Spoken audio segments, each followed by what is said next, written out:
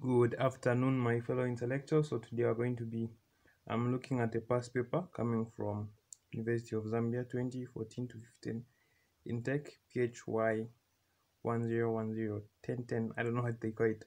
Um, to introduce myself, I'm David, the Universal Data Boy, or you might as well call me the A plus ambassador.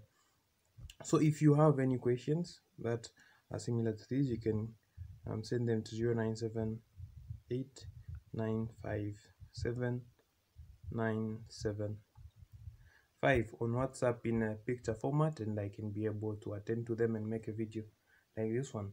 Um so we are doing question it was question two. Question two was the one that was requested. Um so it states a ball at the end of a 2.0 meter long string swings in an arc as shown below the ball's speed is 3.5 meters per second as it passes through its lowest position. Um, Roman numeral 1. To what height above this, this position will it rise before stopping? And then Roman numeral 2. What angle does the string make with the vertical when the ball is at the highest position? So now um, we'll do what we what we do in any kind of physics problem. We're going to draw the diagram that we can get some understanding of exactly what's happening.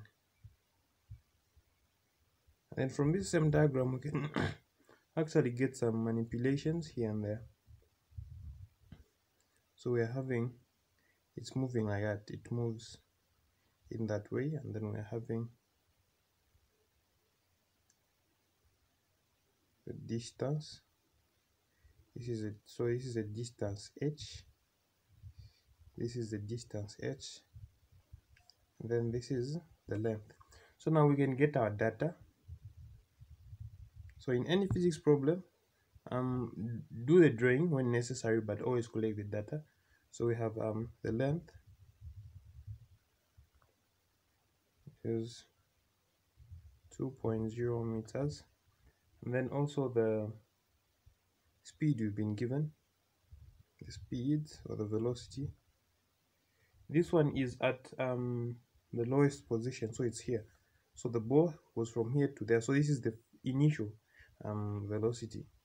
Initial speed. So we can put it as speed initial is 3.5 meters per second. And then here we have it's coming to rest. So we have this speed here although it's not stated in the question. We have the speed final the speed final is equal to 0 meters per second because it's coming to rest. So now then we can look at um we can look at roman numeral roman numeral 1 and before we look at roman numeral 1 we have to understand this is um this is a pendulum and then according to this one we're finding h in roman numeral 1 so it's it's useful it's quite useful to use the conservation of energy there because we are being given the velocity that we can find in the kinetic energy and the height that we can find in the potential energy so that's how we know that we can use the conservation of energy because all the unknowns that we need um, are there. Of course there are other methods but then other methods would require us to have more data but then the data that we have um, here is quite is quite less. So now we can we can start. Roman numeral 1 we, the law of conservation energy by the way states that um the energy in a closed system is conserved. It cannot be destroyed um created but can be changed from one form to another. So now um it's it's according to the law of conservation of energy this this is the way to put it. Change in potential energy plus change in kinetic energy is equal to zero. So now you can also there's also another way to put it where they say kinetic energy final plus potential energy final is equal to potential energy initial plus kinetic energy initial so this is the same as this because when these go this side they will become um they'll become negative and they'll just be the change in that. And then this side will be having a zero. So you can use this one you can use this one you still find the same answer. So now um let's say the kinetic energy final minus the kinetic energy initial when this goes this side and then this this is the change in potential in kinetic energy rather plus um also the potential energy final minus the potential energy initial is equal to zero. So now um we can we can put this in our equations knowing that potential energy is equal to mgh and then kinetic energy is equal to 1 over 2 mv squared. So now here we are having 1 over 2 mv final squared. We can't say mass final because the mass is the same throughout. Plus 1 over 2 mv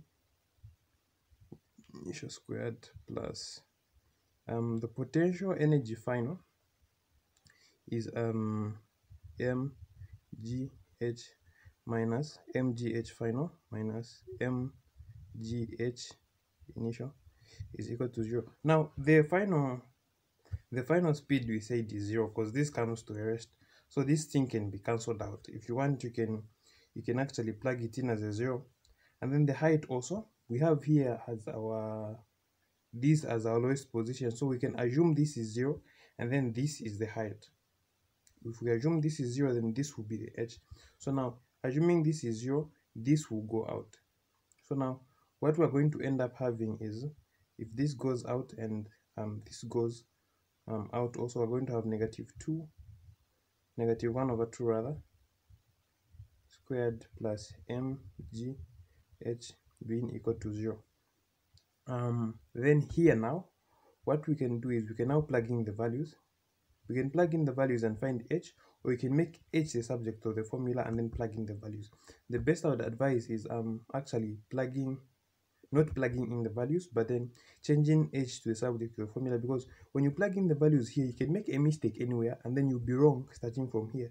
But then when you change the subject of the formula you find a symbolic answer. You'll be correct all the way until the symbolic answer if you made wrong calculation and then you find that you only be wrong in your final answer and thus you get more marks. In a question like this one which has um nine marks you might even get seven because we know for physics the answer is not only in the final answer but is also in the working.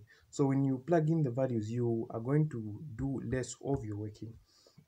So now changing this one to subject of formula we can take this the other side. Or we know we don't actually take the other side but we add one the same thing. We add mvi squared plus mv um, i squared to both sides so at this can become zero it can subtract and then we'll have that there. But you can say we take it to the other side. It's it's still correct math. Um mvi squared. Now um this might worry you because we don't have the mass.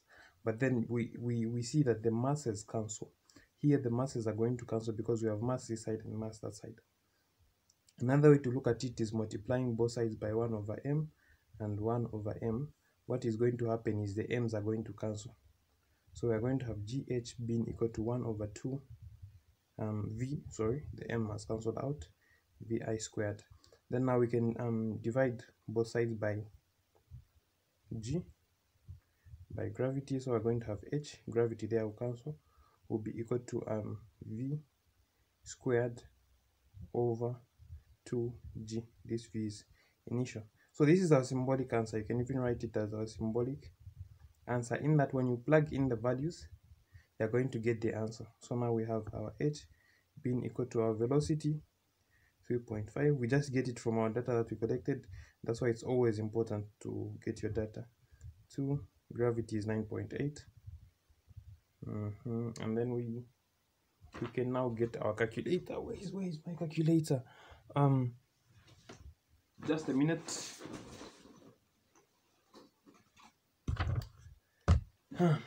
Yeah.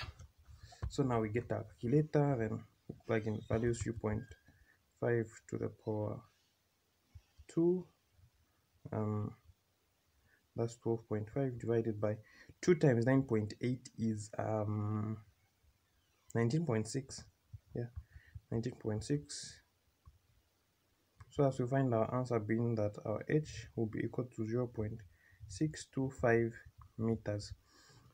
And that's it for this question roman numeral 1 we can go to um roman numeral 2 roman numeral 2 we can we can put this aside.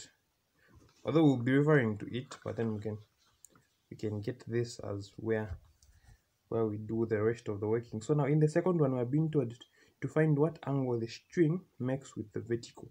So now um allow me to use this this one again. We use our diagram. So we're having this theta here and then we're told to find this theta.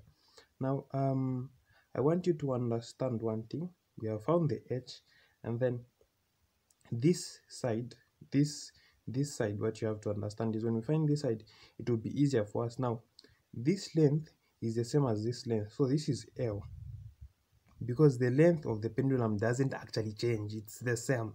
It's not that when the string goes this side it changes as many have the misconception but then this is l.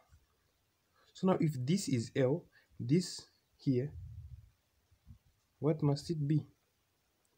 This must be l minus h. Then we'll find this one. So that when we add these together l minus h plus h we're going to find the l. So now we are having something like um allow me to draw it.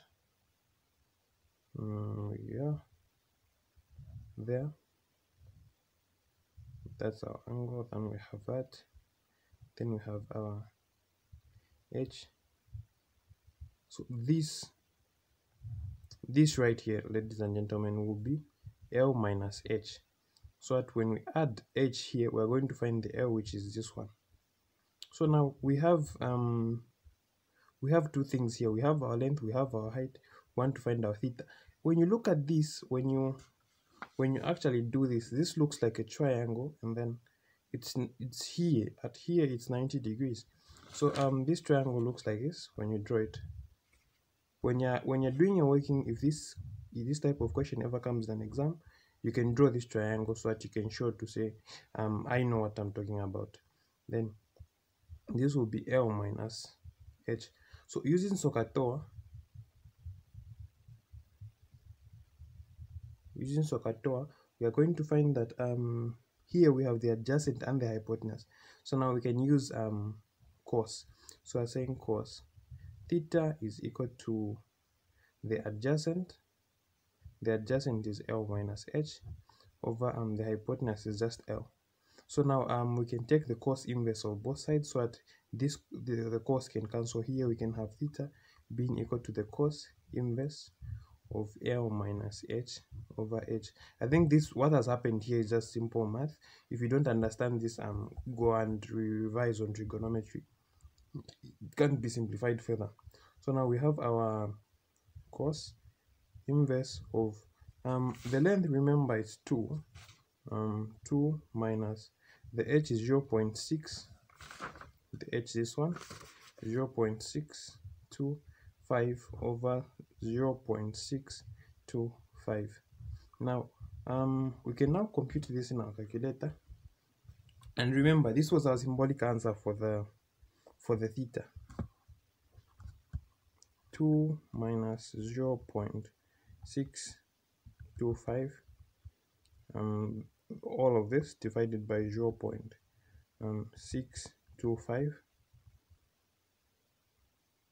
um this we are going to multiply it.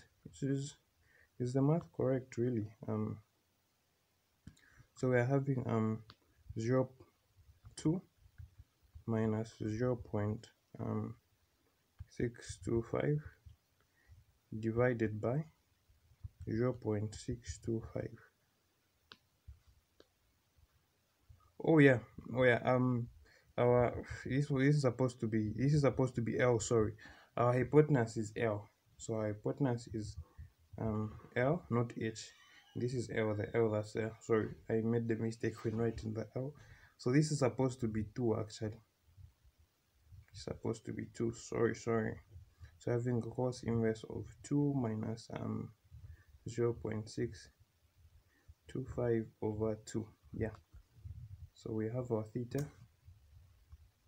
So we have our 2 minus um 0 0.625 divided by 2 then we have um the cos inverse of the answer.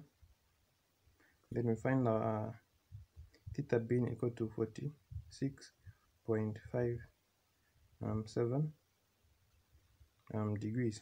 So this is our theta. Now remember the L there. The L was this one. We created our triangle and then we used um, the SOHCAHTOA and then we found now theta. This question is very very simple and straightforward. Just um, do just trigonometry and conservation of mechanical energy. Please remember to subscribe to this channel for more questions and then if you have any questions you can um send the question to to this number this number it's on whatsapp you can just send the picture then it would be solved in um picture question just like this so um subscribe share um tell your friends about this that um the a plus ambassador the universal data boy david banda is solving tutorial sheets um from me it's bye bye and stay safe